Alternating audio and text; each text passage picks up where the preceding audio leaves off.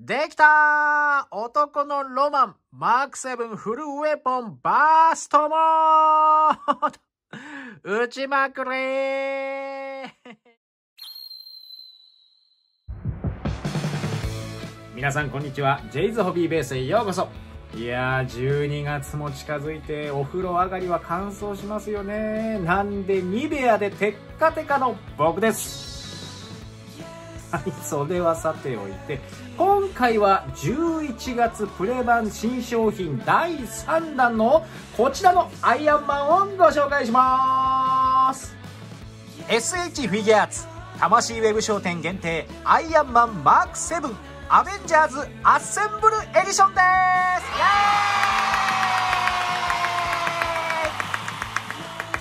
こちらの商品は2018年に発売されていたフィギュアーツアイアンマンマーク7に劇中に近づけたメタリックレッドとシャンパンゴールドのカラーリングそして戦いにおける傷などを追加塗装した商品になります。アベンジャーズアッセンブルエディションということで初めてトニー・スタークがアベンジャーズに参加した際のこのスーツどんな作りになっているのでしょうか。早速パッケージから見ていきましょう。パッケージも前回とは新たに作り直されていて全体はニューヨーク決戦の際のこの市街地を思い起こさせるコンクリートのような灰色の表面ですね。艶消しでマットな仕上がりになっています。これね触り心地いいんだよね。大きく左側にはイラストのマーク7右側には商品の写真ですね。床パンが決まりそう。金の白押しでアイアンマンマーク7アベンジャーズアッセンブルエディションと。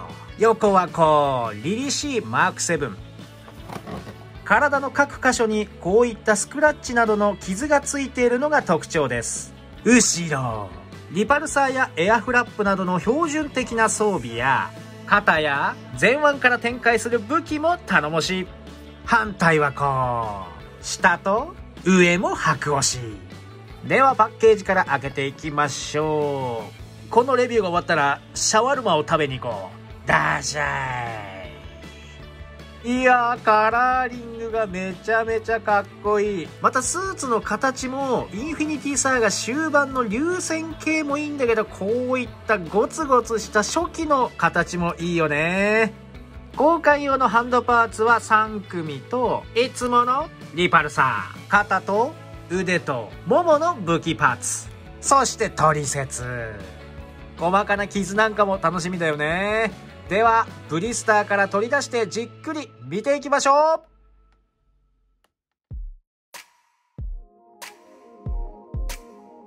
まずは造形を見ていきましょう。全体は、こんな感じ。お顔はどうでしょうか？マーク7のこのシャープな顔立ち、いいですね。新しいカラーのシャンパンゴールドとメタリックレッドがさらに引き締まった印象を与えます。サイドの作り込みも細かいです。頬のこのブラックの部分の造形、奥が細かく作り込まれています。後ろはこう。特にこの首の後ろのタワーのように盛り上がった造形がかっこいいです。上から見るとこんな感じ。体はどうでしょうか？胸の中央、リアクターは奥がシルバー塗装、その上にクリアパーツで覆われています。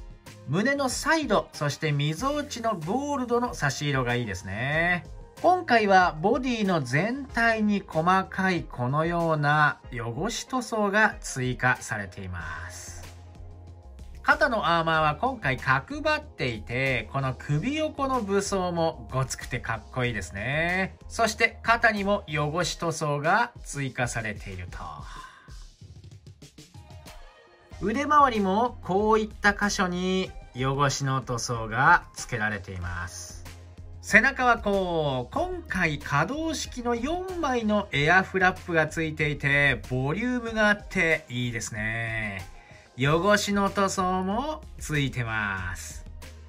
下半身にも、もも、膝、すね、つま先と至るところに汚しが入っています。サイドはもちろん、ももの裏側だったり、ふくらはぎなんかも抜かりはありません。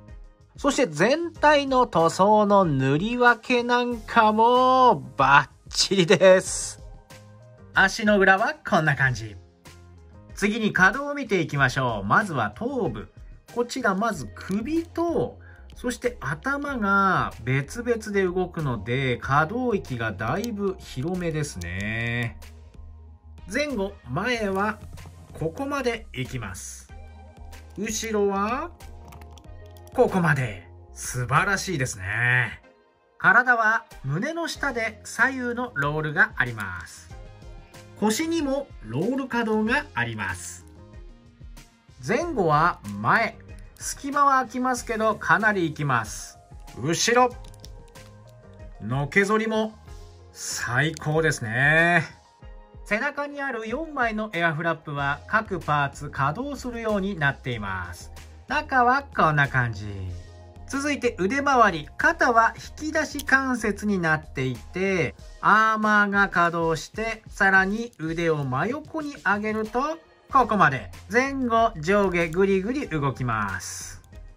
さらに上腕でロールがあって、肘は二重関節で素晴らしい、ここまで上がります。手首は回りはしますが、可動域はそんなに広くないですね。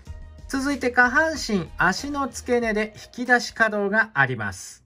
真横に上げるとここまで。開脚はこんな感じ。ももの上で左右のロールはありますが、あまり可動域は広くないですね。付け根のボールジョイントでならよく動きます。足を前に出すと、素晴らしい90度以上いきます。膝は二重関節で、ここまで曲がります。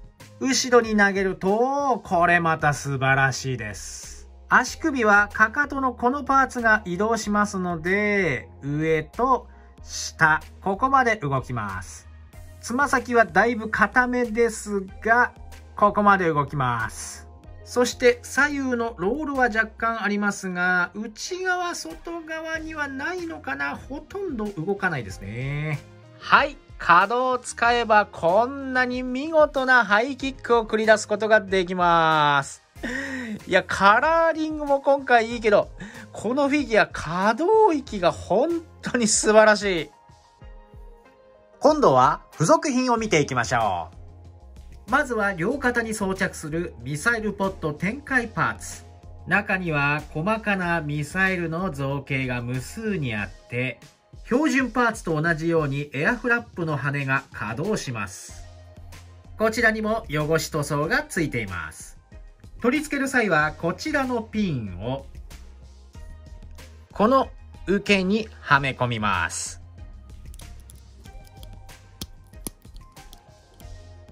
装着するとこんな感じ。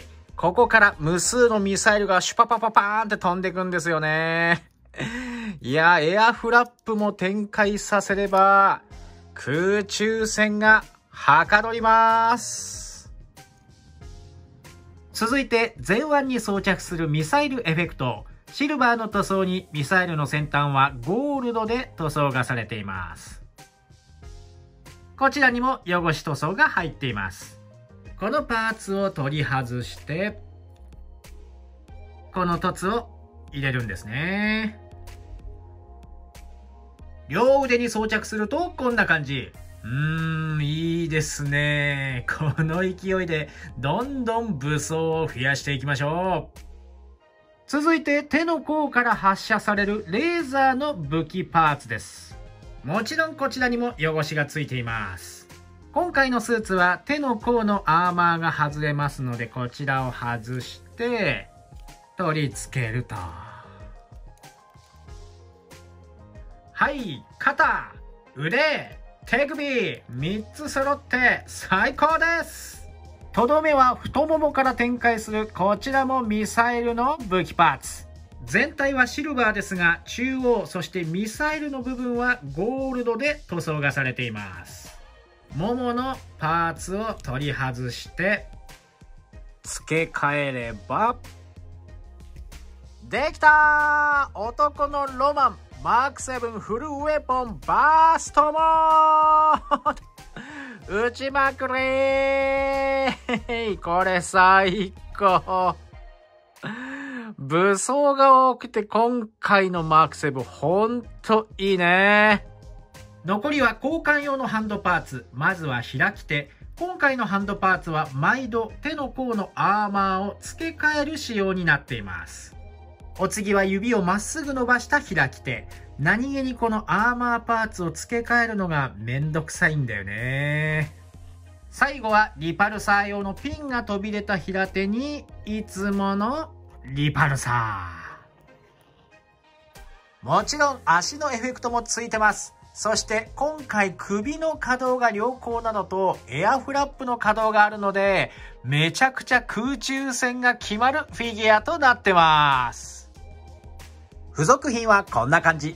最後はいくつかポージング。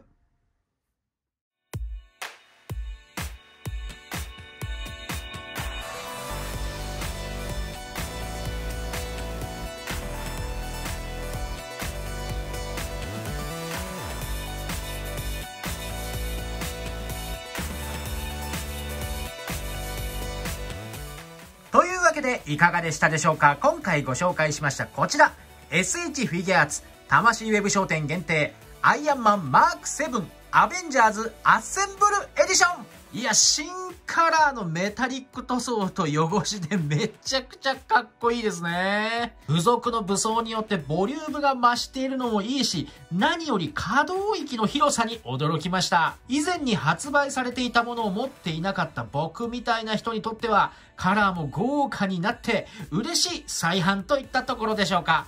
映画アベンジャーズの中で空中戦によって世界を救ったアイアンマンマーク7の姿を存分に再現できるフィギュアだと思います。また12月2日からアイアンマンマーク6ダメージバージョンを含めたアベンジャーズビッグ4の一般発売受付も開始ということでこの後も映画アベンジャーズのフィギュアーツどんどん盛り上がってきそうですね。今回も最高でしたいつも動画を見てくれてありがとうこの動画が楽しかった、面白かったと思われた方はぜひチャンネル登録、高評価よろしくお願いします。それからコメント何でもお待ちしております。ジェイズホビーベースの公式 Twitter もぜひご利用ください。それではまた次の動画でお会いしましょう。バイバイ